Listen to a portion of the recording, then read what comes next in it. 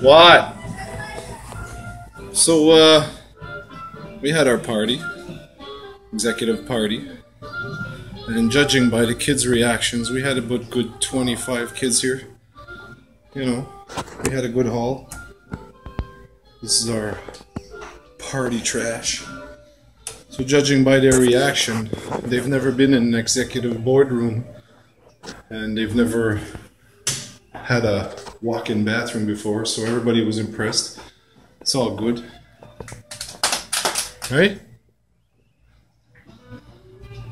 But uh, all this showing off is exactly the point I'm trying to make. There should be more kids having parties in boardrooms. That's all I'm trying to say. Cool, huh?